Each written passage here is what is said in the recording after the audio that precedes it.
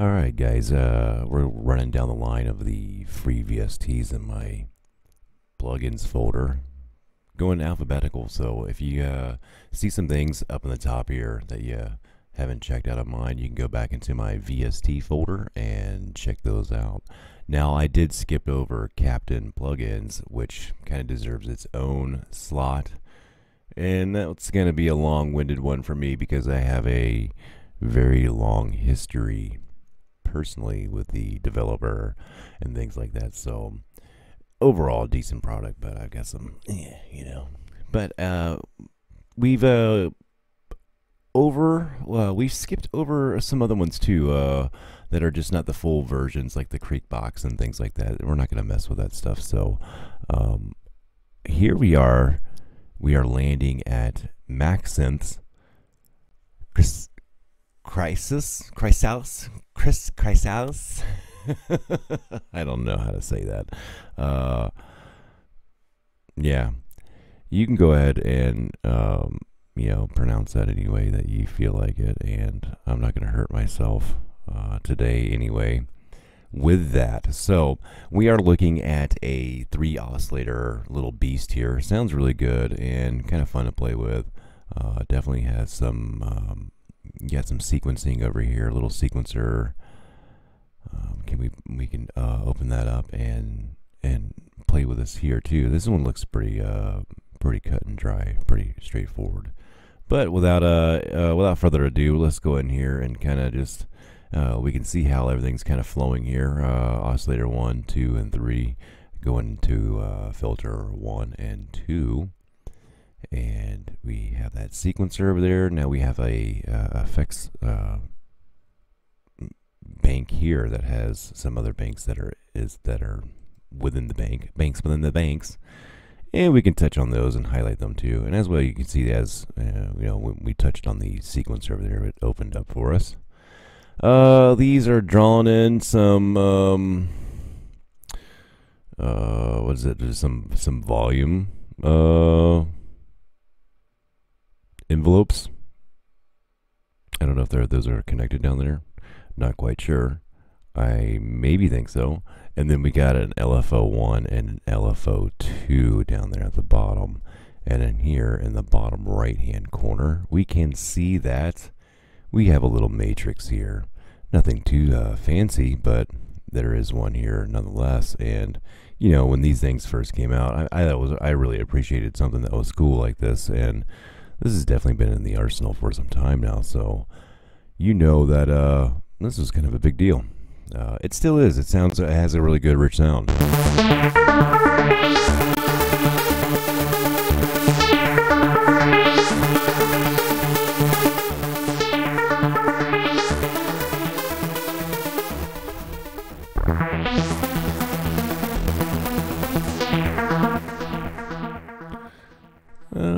Let's go ahead and just uh, just for for me here, I want to configure the the two filters over here just for my own personal flavor here. So as we're messing around, we can.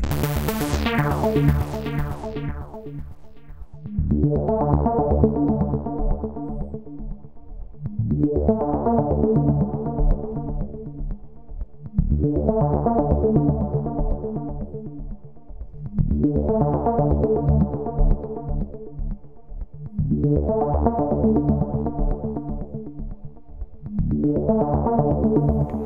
know, you can get kind of a little fun there, you know. Uh, let's go ahead and dive into some of these presets over here and see what that's all about. We can play with this thing here. And uh, let's see. Nothing really see if, oh, if you want to check it out here. I forget where everything is at on the screen. And I just started throwing the screen around. Let's go check out some like a few more of the sequencing here.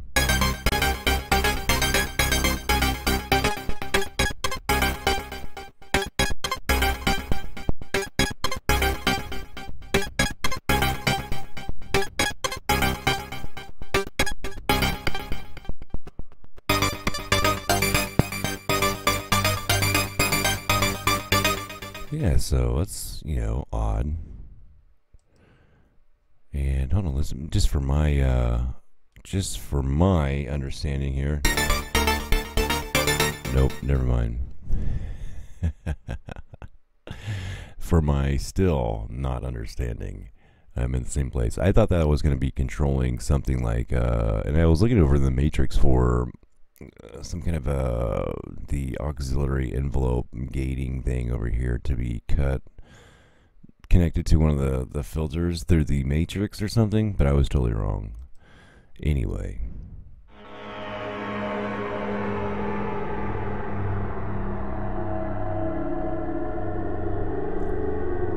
Oh, yeah. Ooh, that one felt good, man. You know, that just felt good. I mean, if you didn't want to throw up after that, I mean, that was that's uh I mean when you need a sound like that, I mean that's uh, good to have. But it's pretty rich. I mean everything that I've uh, played with here so far is uh I mean I to use anything. I'm just randomly grabbing stuff too.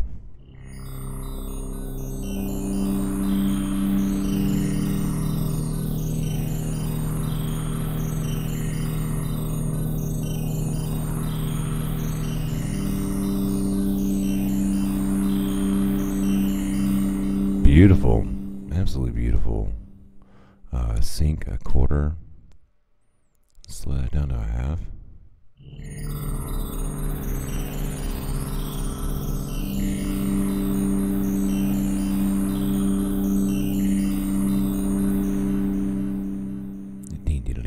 There's step one and step two. Okay, okay. And let's go over to the FM. Ah, I was right. Okay my matrix understanding was way off before, so and I'm not sure what this little button thing does. See, it turns into a butterfly. That's cute.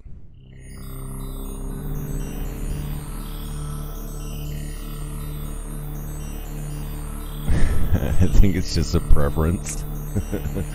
you know, I am down with it. I'm not hearing anything different on it, and I'm pretty sure I played with this before. It's not my first time asking this question, so Alright, guys, let's check out some more on the. Let's go into some BS. Let's go into some BS. Some BS.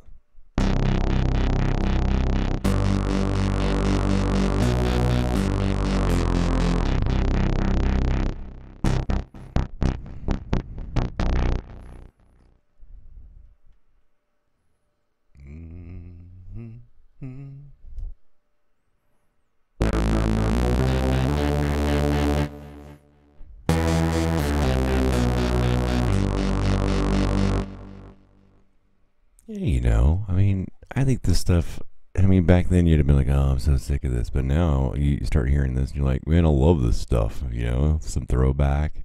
Uh, go ahead and dirtify this, man. Get some iZotope uh, trash up on here. just, just dirty it up. Yeah, right there, right there. Yeah,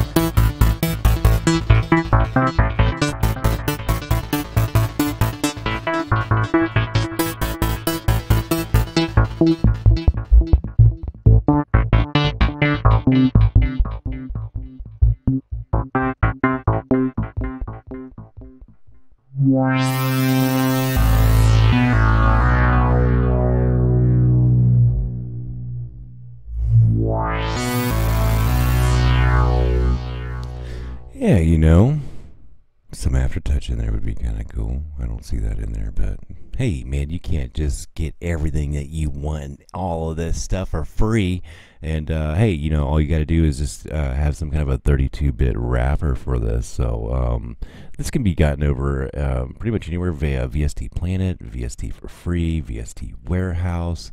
Um, if you just type in this name, uh, you're not going to have any kind of problem with going to finding this. And um, you know, maybe uh, we'll talk about how I set up my folder because I definitely have like a dedicated folder system for my VSTs. You know, I do weird things like naming them like AAAA my VSTs in both my um, my programs folders for both sets here. So maybe we'll talk about that uh, um, towards the end of these uh, that that we uh, the whole list that we're going down here on the left hand side though uh, the free VSTs they're, they're mostly free in the in the list here.